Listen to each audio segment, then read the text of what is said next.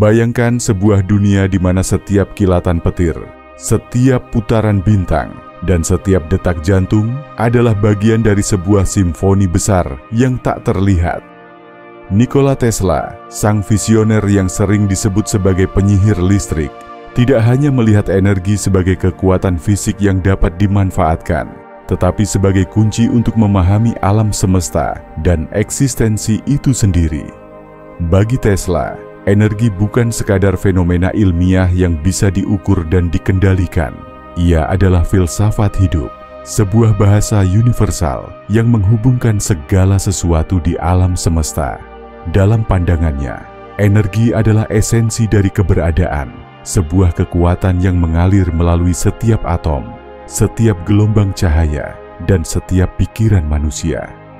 Tesla percaya bahwa dengan memahami energi, kita tidak hanya menjelaskan mekanisme alam semesta, tetapi juga menemukan jawaban atas pertanyaan-pertanyaan paling mendalam tentang siapa kita, dari mana kita berasal, dan apa tujuan kita di dunia ini. Melalui lensa Tesla, energi menjadi lebih dari sekadar ilmu pengetahuan. Ia menjadi sebuah jalan untuk merenungkan makna hidup, harmoni kosmis, dan misteri eksistensi yang tak terungkap. Manusia sejak dahulu selalu penasaran tentang hakikat energi. Dari zaman purba hingga era modern, energi lebih mudah dirasakan dampaknya daripada dipahami sepenuhnya. Kita melihat api membakar kayu, merasakan panas matahari di kulit, dan menyaksikan angin yang menggerakkan ombak di lautan. Namun, apa sebenarnya energi? Definisi yang sering diajarkan bahwa energi adalah usaha untuk melakukan sesuatu hanyalah sebuah pelarian dari pertanyaan yang lebih dalam. Definisi ini hanya menggambarkan efeknya, bukan esensinya.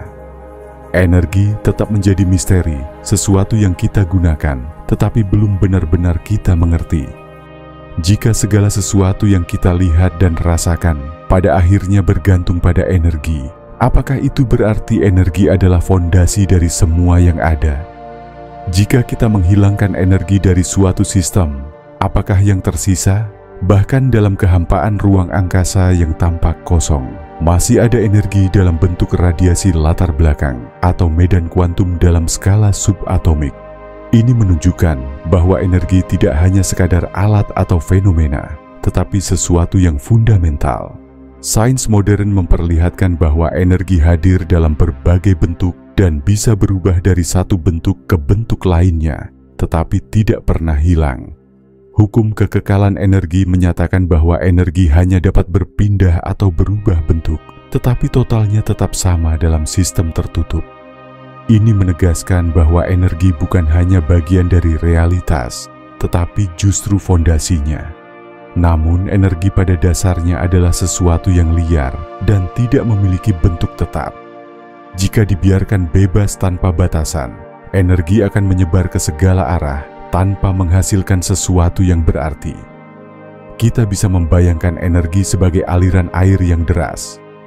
Jika air itu tidak memiliki wadah atau kanal yang mengarahkannya, ia hanya akan menguap atau menyebar tanpa arah yang jelas.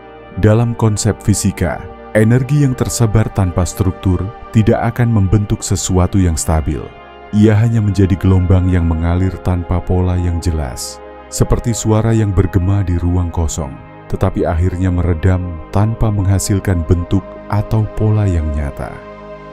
Contoh lain dari energi liar yang tidak terstruktur adalah panas yang dihasilkan oleh bintang yang tidak memiliki medan gravitasi yang cukup untuk mempertahankan reaksi termonuklirnya energi yang dilepaskan hanya akan menyebar dan meredup tanpa membentuk sesuatu yang berarti.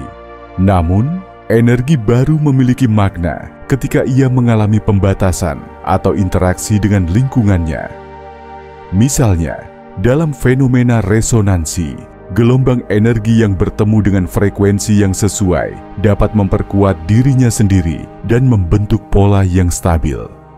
Cahaya yang masuk ke dalam rongga cermin sempurna akan memantul berulang kali, menciptakan interferensi konstruktif yang mempertahankan frekuensinya dalam pola tertentu. Cahaya akan terus bertemu dan saling tumpang tindih. Ini mirip dengan bagaimana energi dalam atom terikat oleh gaya elektromagnetik sehingga membentuk struktur stabil yang kemudian kita kenal sebagai materi. Dalam sistem makrokosmos, planet dan bintang terbentuk karena energi yang terkompresi dalam medan gravitasi, menciptakan kesetimbangan antara tekanan dan gaya tarik-menarik. Seperti halnya energi yang terstruktur dapat membentuk tatanan alam semesta Begitu pula dalam kehidupan, keteraturan, keseimbangan, dan tujuan memberikan makna bagi keberadaan manusia. Jika energi tidak terikat atau tidak mengalami interaksi yang membuatnya stabil, ia akan terus berpencar ke segala arah, kehilangan intensitasnya seiring waktu. Fenomena ini dapat dilihat dalam hukum kedua termodinamika yang menyatakan bahwa dalam sistem tertutup, entropi atau ketidakteraturan akan meningkat dengan kata lain, energi yang tidak terarah atau tidak terstruktur cenderung menuju keadaan yang kurang terorganisir. Oleh karena itu, materi sebagai bentuk nyata dari energi dapat muncul ketika energi tersebut mengalami keterikatan dan resonansi dalam lingkungan yang sesuai. Ini juga menjelaskan bagaimana galaksi dan planet dapat terbentuk dari awan gas yang mengandung energi yang kemudian dikondensasikan oleh gravitasi menjadi objek padat. Ini mengisyaratkan adanya prinsip keteraturan di balik fenomena alam, seakan menunjukkan adanya desain yang memungkinkan keseimbangan dan keberlanjutan. Dalam pemikiran yang lebih dalam, keteraturan energi dalam alam semesta ini mengajarkan bahwa ada suatu kehendak yang mengatur dan menyeimbangkan segalanya. Sama seperti energi membutuhkan keterikatan agar bermakna, demikian pula kehidupan manusia memerlukan arahan dan nilai yang memberikan makna bagi keberadaannya. Segala sesuatu di alam ini mengikuti hukum yang telah ditetapkan, baik dalam skala atom maupun dalam keseimbangan kosmik yang lebih besar. Pemahaman akan energi dan keteraturannya membawa manusia untuk merenungkan kebesaran di balik mekanisme alam yang sempurna. Jika kita menelaah lebih lanjut, fenomena energi dalam alam ini seolah memberikan petunjuk bahwa ada sebuah sumber utama yang menciptakan dan menetapkan hukum-hukum tersebut. Alam semesta yang begitu tertata rapi, dari pergerakan bintang-bintang hingga keseimbangan ekosistem, seakan mengisyaratkan adanya suatu desain yang sangat cermat. Keberadaan energi, keteraturannya, serta prinsip-prinsip yang mengikatnya memberikan pemahaman bahwa realitas yang kita alami bukan sekadar kebetulan, tetapi merupakan hasil dari sistem yang memiliki tujuan. Kesadaran ini membawa kita kepada pemahaman yang lebih luas bahwa alam semesta memiliki sistem yang bekerja dalam keseimbangan yang luar biasa, seakan memberi petunjuk tentang adanya tujuan dalam keberadaannya. Energi yang mengalir dalam segala sesuatu menunjukkan adanya suatu kekuatan yang lebih besar yang menciptakan dan mengatur segala hukum yang kita temui di alam semesta. Sebagaimana kehidupan memerlukan keseimbangan dan keteraturan, begitu pula energi tidak mungkin hanya muncul dan beroperasi tanpa aturan yang telah ditetapkan sejak awal penciptaan. Dengan memahami semua ini, manusia mulai menyadari bahwa segala sesuatu di alam semesta, termasuk dirinya sendiri, bukanlah tanpa makna, melainkan bagian dari sistem yang lebih besar yang terus bekerja dengan penuh harmoni dan keseimbangan. Mari kita renungkan lebih dalam. Energi bukan hanya sekadar konsep fisika atau fenomena alam. Ia adalah kunci untuk memahami keberadaan kita sendiri.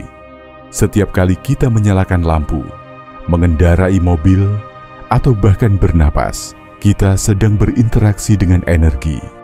Energi adalah bagian tak terpisahkan dari kehidupan kita, dan memahami hakikatnya berarti memahami hakikat kehidupan itu sendiri. Dalam skala yang lebih besar, energi juga menjadi kunci untuk memahami alam semesta. Dari ledakan besar, Big Bang yang menciptakan alam semesta, hingga pembentukan bintang, planet, dan galaksi semuanya didorong oleh energi. Bahkan energi gelap, dark energy yang misterius yang diperkirakan menjadi penyebab percepatan ekspansi alam semesta menunjukkan bahwa energi masih menyimpan banyak rahasia yang belum terungkap.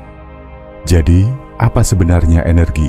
Apakah ia hanya sekadar konsep ilmiah, ataukah ia adalah sesuatu yang lebih dalam, sesuatu yang menyentuh hakikat keberadaan kita? Jawabannya mungkin masih jauh dari jangkauan kita. Namun, satu hal yang pasti, energi adalah misteri yang terus memikat dan menginspirasi kita untuk terus mencari, belajar, dan memahami. Dalam perjalanan kita untuk memahami energi, kita juga mulai memahami diri kita sendiri dan tempat kita di alam semesta. Energi, dengan segala misteri dan kompleksitasnya, bukan hanya sekadar konsep ilmiah yang dingin dan terukur. Ia adalah cermin yang memantulkan pertanyaan-pertanyaan mendalam tentang keberadaan kita, alam semesta, dan makna hidup. Dari api purba yang pertama kali dinyalakan oleh manusia, hingga energi nuklir yang menggerakkan peradaban modern, energi telah menjadi bagian tak terpisahkan dari perjalanan manusia. Namun, di balik kegunaannya, energi mengajarkan kita tentang keseimbangan, keteraturan, dan harmoni yang mengatur alam semesta. Ia mengingatkan kita bahwa segala sesuatu saling terhubung bahwa kita adalah bagian dari jaringan kosmis yang lebih besar. Energi juga membawa kita pada kesadaran bahwa hidup ini penuh dengan potensi dan transformasi, seperti energi yang terus berubah bentuk tetapi tidak pernah hilang. Dalam keteraturan energi, kita melihat petunjuk tentang adanya tujuan dan desain yang lebih besar yang mungkin mengarahkan kita pada pemahaman yang lebih dalam tentang diri kita sendiri dan tempat kita di alam semesta. Dengan merenungkan hakikat energi, kita tidak hanya memahami dunia di sekitar kita, tetapi juga menemukan makna yang lebih besar dalam setiap detak jantung, setiap hembusan napas, dan setiap langkah kita di bumi ini. Energi, pada akhirnya, adalah pengingat bahwa hidup ini adalah anugerah yang penuh dengan keajaiban dan bahwa kita adalah bagian dari sistem yang lebih besar yang terus bekerja dengan harmoni dan keseimbangan. Jadi, mari kita terus menjelajahi misteri energi, karena dalam pencarian itu kita mungkin akan menemukan tidak hanya jawaban tentang alam semesta, tetapi juga tentang diri kita sendiri. Energi adalah kunci untuk memahami keberadaan kita, dan dengan memahami energi, kita mungkin akan menemukan makna yang lebih dalam dari kehidupan ini dalam setiap kilatan cahaya, dalam setiap hembusan angin, dalam setiap detak jantung, energi hadir dan mengingatkan kita tentang keajaiban keberadaan kita. Mari kita terus merenungkan, mencari, dan memahami, karena dalam energi kita menemukan tidak hanya kekuatan alam semesta, tetapi juga kekuatan dalam diri kita sendiri. Jika informasi dalam video ini bermanfaat, Silahkan klik subscribe, like, dan share. Sampai jumpa di pembahasan menarik berikutnya.